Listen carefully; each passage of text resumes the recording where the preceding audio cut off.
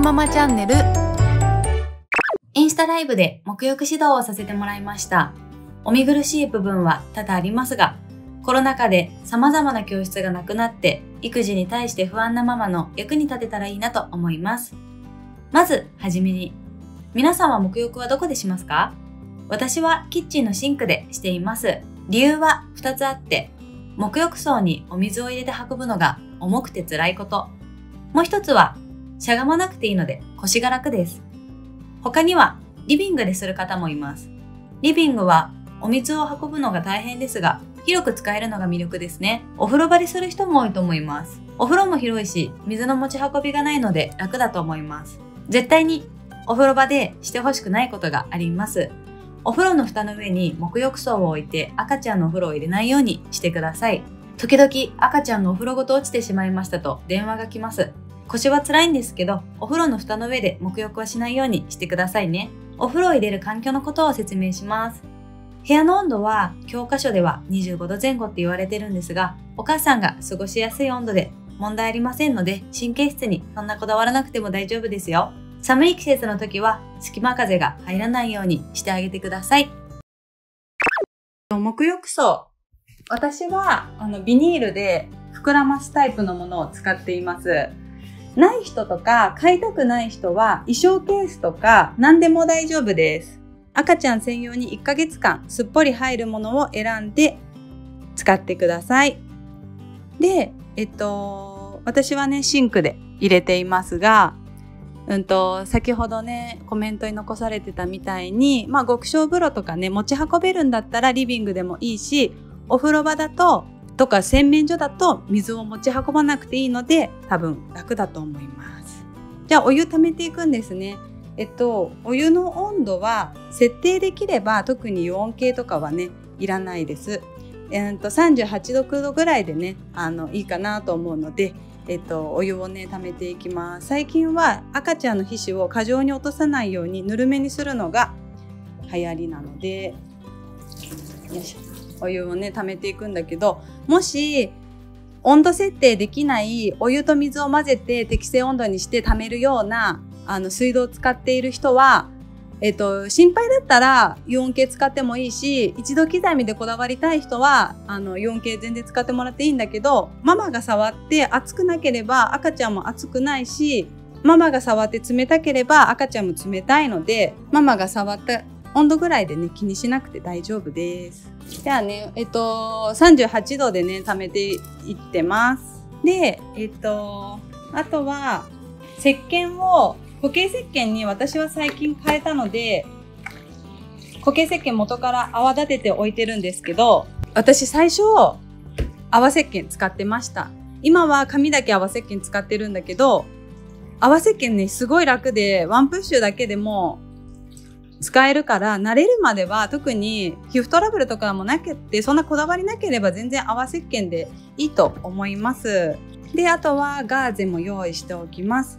こっちのガーゼは大判で、うんと、よく赤ちゃんに沐浴布って言って落ち着くようにかけるガーゼなんだけど使っても使わなくてもよくって落ち着くからかけておくと赤ちゃんの手が暴れなくって楽だしなくっても全然大丈夫だし着ていた肌着をそのまんまあのかけてあげても大丈夫です。でこっちは赤ちゃんの顔を拭いたりとかするガーゼなんだけど、まあ、もしガーゼの摩擦とかがねあんまり良くないって言われてるし気になるんだったら手でやってあげても大丈夫で私指で赤ちゃんの顔を濡らすのがちょっと下手くそだから一応置いておきますね。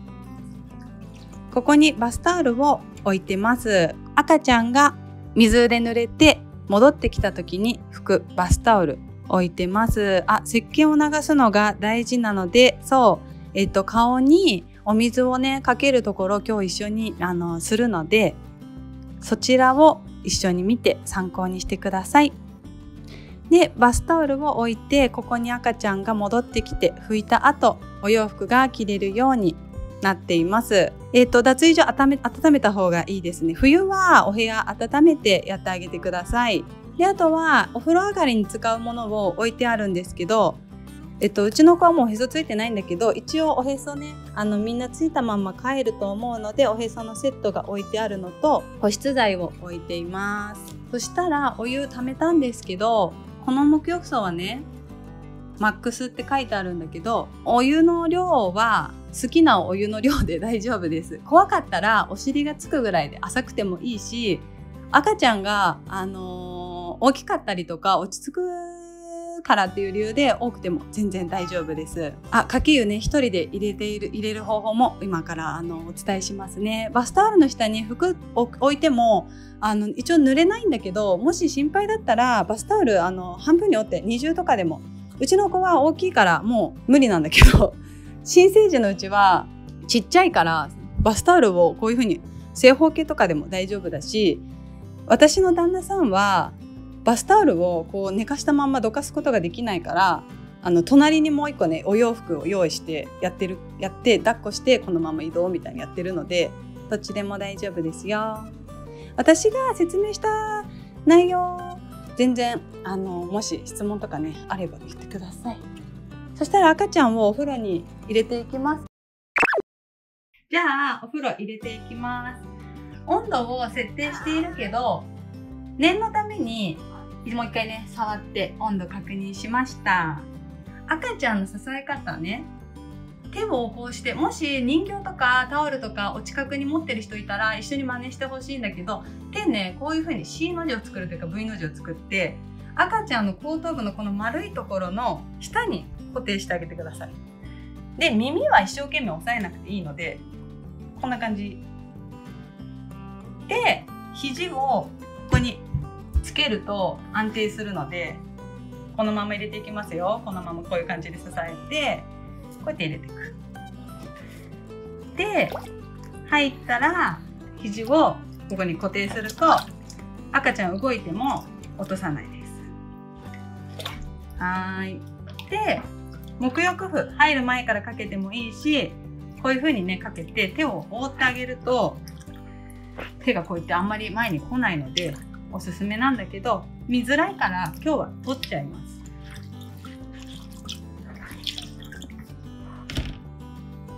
じゃあ洗う順番なんだけど特にあのそんなに決まりはなくてまあ顔から洗ってお尻から最後になるのがいいかなっていう感じ。はい。なので顔からやっていくね。でこうやってガーゼでやるときはあんまりこすらないで押さえてあげるといいと思うし手でやるときはもう手を濡らしてこうやってね。やっていくといいと思う。よいしょ。楽しい。で、えーと、さっき泡立てたね石鹸を。使っていきます。楽しいね。こんな時間にお風呂にいつも入らないからね。楽しいね。楽しいね。今ね生後もう2ヶ月過ぎたとこなんだけど最初すごい小さくてもうこのお風呂がすごく大きく感じたんだけどあっという間に大きくなっちゃうね。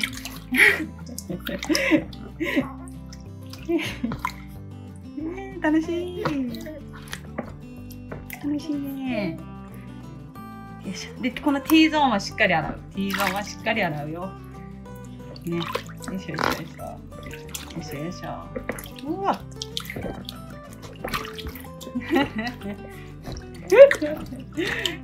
この石鹸でちょっと今目に入っちゃったんだけど目に入ってもねいいよって別に大丈夫だよって言われてる石鹸だからね。痛くなかった。はい。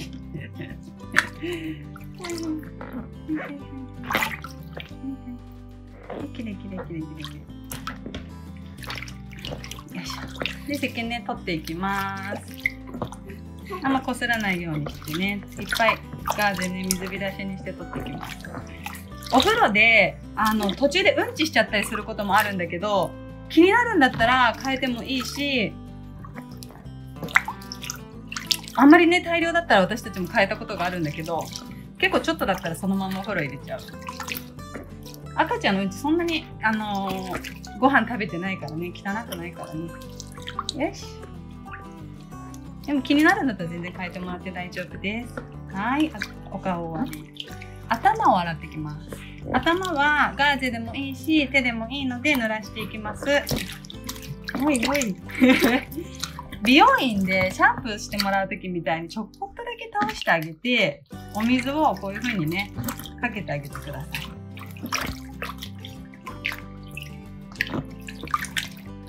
い。はい。よし。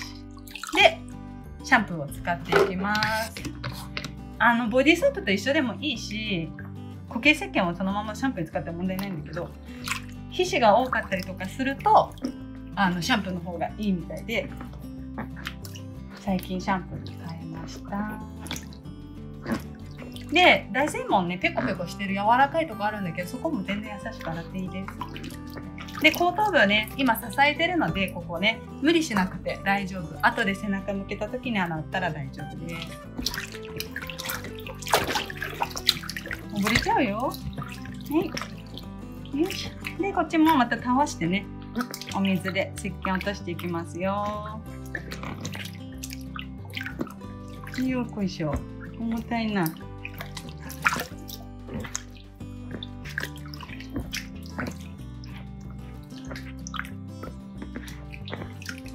はい。で、絞ったガーゼでね、まあやってもやらなくてもいいんだけど、もしお部屋がね、涼しくて気になるようだったら、もう髪の毛少ないから、これだけでね、だいぶ水気が取れる。よいしょ。はい。よいしょ。大丈夫かな？聞こえてるかな？で、あとは、あの、さっき泡立てたね、石鹸、固形石鹸なんだけど、洗っていきます。えっとね、ここから体洗っていくんだけど、もううちの子結構お肉がね、あ、携帯壊れちゃうよ、携帯壊れちゃう。お肉が多くて、首すごいお肉だらけだから、ここ絶対に指入れて洗ってあげてほしいです。よしよし。ね。最初はすごい洗いやすいんだけど、どんどんお肉がついてくる。で、お胸とかお腹も今洗っていくんだけど、これね、見せちゃいけないことになっててね、インスタ、あの、肌着着ながらやってますからね。えっと、お胸とかも洗っていくんだけど、この辺とかは全然お肉ついてないから、普通にこうやって洗えばよくって、お腹はのの字に洗うと、うんちが出るおまじないになります。もうこの辺は全然ね、そんな大丈夫で。問題はこの脇の下とか、この二の腕のこことか。おいあとはね、もううちの子手首が埋もれて、手首をね、しっかり指通したらってあげてください。で、こうやってくるくるってこうやって洗ってあげて。ね。指をね、しっかりお肉の間に通して。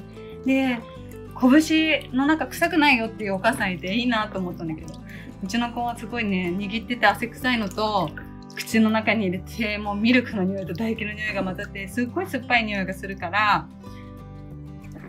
小指からこうやって指ね、こうやって入れてあげて、で、こうやってして洗うの。あ、ごめんね。で、よいしょ。嫌だったね。で、こうやって洗うんだけど、口の中に石鹸を持ってっちゃうから、中でこうやって洗ってあげます。はい、ごめんなさいね。すいません。はい。で、脇の下にね、洗って、二の腕の関節も洗って、好きに動きたいよね。はいはい。で、ねこちらでもね、嫌かもしれないけど、くちゃいから、洗ってこう。はいはいはいはい。はいはい。で、お口にね、石鹸持ってっちゃうから、中ですぐに落としてあげます。で、このまま足いきますよ。で、足、中で、映せるかな？洗ってあげて大丈夫、こうやって。で、ここの時も、ここの膝のね、えっと、裏と、鼠径部、しっかり指を通して洗ってあげてください。こうやって洗ってあげたら大丈夫です。で、えっと、お湯の中じゃなくて、外でどうしても洗いたければ、よいしょ。こうやってして、お風呂からね、こういう風にお尻つけて出して洗ってあげてもいいんだけど、全然無理しなくて大丈夫です。じゃあ背中を洗います。背中ね、なんか結構高度な感じがするんだけど、このまんまこうやって洗ってあげても全然問題ないし、こうやって手を入れ替えてね、後頭部までこうやって、こうやって、見えるかな？映してるかな？洗ってあげてもいいんだけど、洗ってあげても大丈夫なんだけど、背中、もし向けて洗いたければ、4本指と親指を分けて、背中にね、こう脇から4本指を背中で、親指前で。私のこの肘の内側に子供の胸が来るように。よいしょ。で片方の手は必ずこっちにね越えてあげるとすごくあの安定しやすい。夢中になって洗うとブクブクって顔つけちゃう時があるから気をつけてください。でこのままさっき洗えなかった後頭部と背中お尻まで洗っていきます。で戻す時は一緒。さっきの V の字を V の字とか C の字でね後頭部支えてたところをもう一回こうやって迎えてあげてこっちの手は離さずにこのまんまこうやって戻ります。わかるかな？ここを支えてたところをこのまんまこうやって戻る。ね。はい。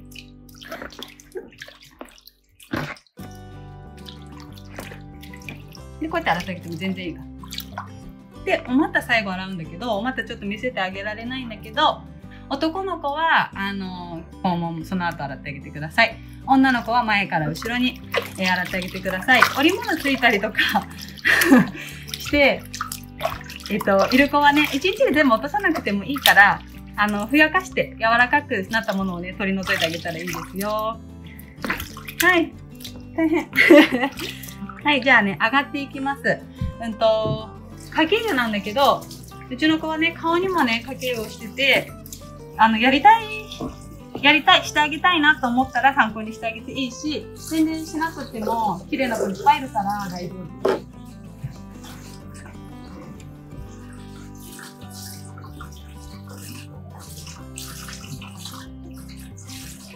もう重たいよ。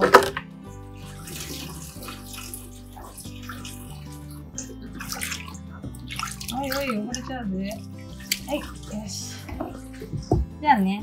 えっと旦那さんにじあのじょうろを今渡したのでじょうろでお湯をお顔にかけるんだけどいつもね私がかけてるからねどうかな？できる？はいじゃあね321の声でいきますよ。はい頑張るよ。321どうぞ。はいはいはい落ちます。さっぱり。はあさっぱり。よし。で最後かけ湯なんだけどもし1人だったらもし1人だったらシャワーとかあのお湯を出してお風呂場だったら洗面所だったらこういうの出して、えっと、こうやってやってあげてもいいし無理してかけ湯しなくても大丈夫って言われてる時代もあったんだけどできる限りお湯はあーじゃない石鹸は落としてあげた方がいいから洗面器にあらかじめお湯を溜めておいてこうやってお湯抜いてお湯抜いてちょっと体をねでできるだけ出してかけ湯をかけて上がっても OK です。一人だったらそんな感じで大丈夫。あとはお尻つけるようにあのーマットとか置いてこう座らし座らすというか頭だけ支えといてお尻だけついて流しても大丈夫。気になれば。もし2人いれば1人が抱いてもう1人に、えっとシャワーなり洗面器のお湯なりかけてもらってください。今日はねあの1人という設定なのでね旦那さん撮ってるからそれをかけるね。優しく。優しくして。優しくしてかけるね。おしまいだよ。で最後止めてもらっていいかな。最後ここで思いっきりこう振りたいの。お水をね切りたいの。なんだけどここで赤ちゃん滑って落としちゃう人多いからお水だらけのまんまでいいしもうこのまんまあのバスタオルの方まで向かいます。お水滴ってるけどお野菜みたいにお水は切らない。よしよし。よし。はい到着。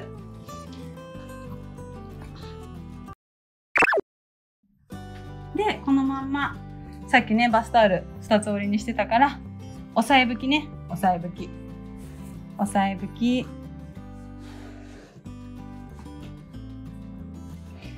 押さえ拭きね。でちょっとねお洋服も今脱い脱いじゃうからお顔だけちょっと見ててね。よいしょ。髪の毛拭いて押さえ拭き。お耳にもねお水がね。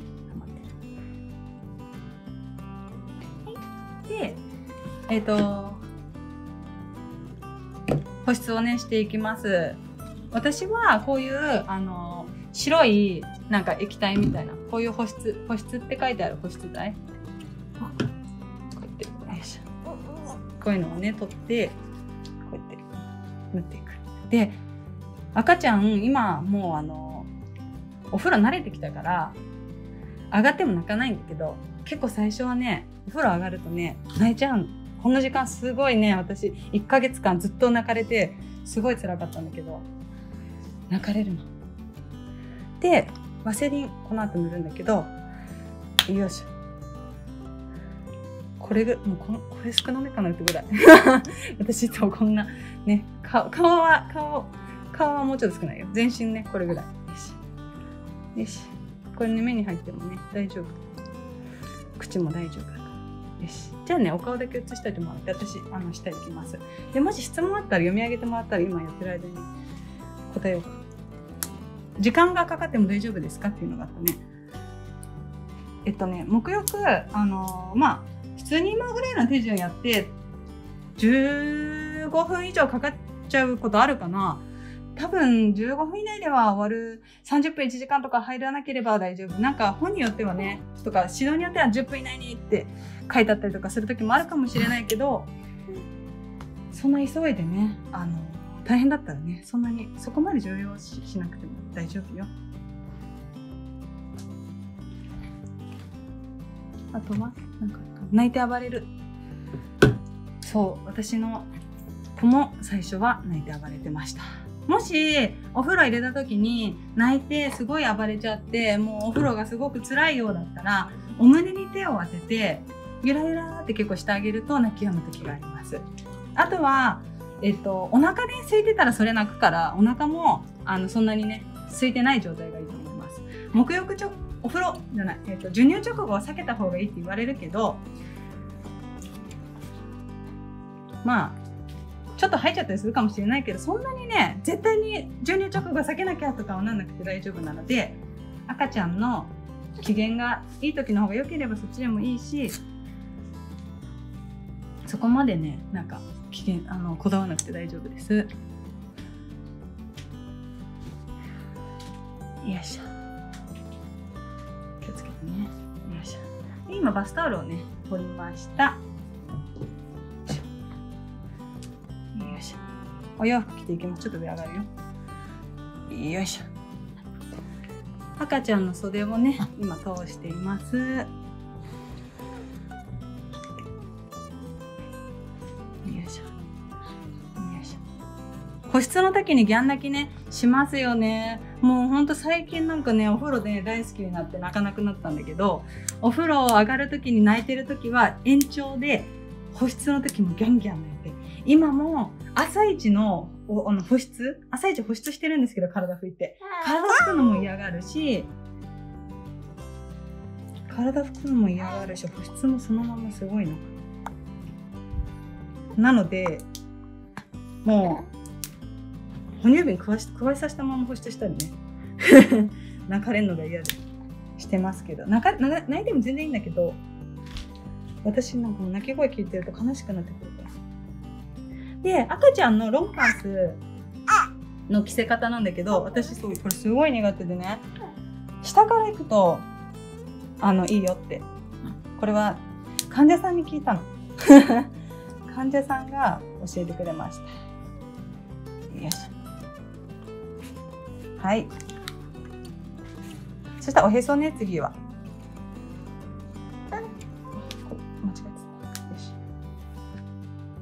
これ下の足首から止めるとなんかこういいよってここまで来たら足首から行くといいよって。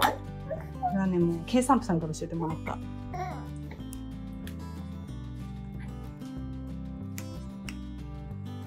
はいそしたらねおへそなんだけどおへそもうちの子は取れたのね。でこういうねセットをもしもらったら産院が指示した通りに消毒してもらったらいいです。うちは特に消毒強制的に促さない病院なのでおへそが取れてからちょっとうじうじしたからうじうじしたらこれ使ってました。もし、えっ、と、おへそが取れるまで続けてねっていう指示だったら、このまま綿棒にこうやって染み込まして、で、おへそがこうやってあれば、ここの根元をきれいにしてあげて、おへそが取れたら、ここの中をきれいにしてあげてください。ちょっと消毒液うちの子いらないから逆の方をね、使いますね。こうやってね、もう普通に、普通にこうやってクリンってしたらいいの。こうやってね。で、よいしょ、おしまい。朝一体拭いた方がいいかなっていう感じなんですけど、私は、あの、本当はガーゼであったかいやつやった方がいいと思うんだけど、冬になったらね、やろうかな。あの、今はね、お尻拭きのやつを使ってます。お股も保湿した方がいいですよ。お股は本当は理想であれば、えっ、と、おむつ交換ごとに保湿してあげた方がいいぐらいです。できてないけどね、私も。保湿は1日にどれぐらいした方がいいか。うちは朝とね、夜をね、夜というかお風呂上がりにやってるんだけど、適宜乾燥してるなと思ったらやってます。